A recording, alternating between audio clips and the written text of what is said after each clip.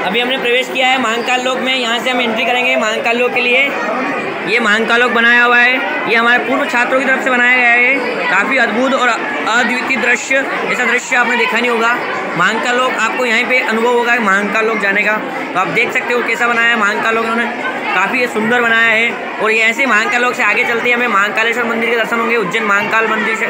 तो देखेंगे आप ये कुछ भक्त प्रार्थना कर रहे हैं महाकाल बाबा से। ये महाकाल मंदिर, अति प्राचीन महाकाल मंदिर। इससे आगे बढ़ते ही हमें भगवान श्री राम का मंदिर दिखेगा। ये भगवान श्री राम का मंदिर है। यहाँ देख सकते हो आप, काफ़ी अच्छा बनाया है इन्होंने। ये भक्तगण खड़े हैं यहाँ पे। ये अपना गोवर्धन पर्वत। ये गोवर्धन पर्वत है। काफ़ी अट्रैक्टिव लग रहा है। आप देख सकते हो।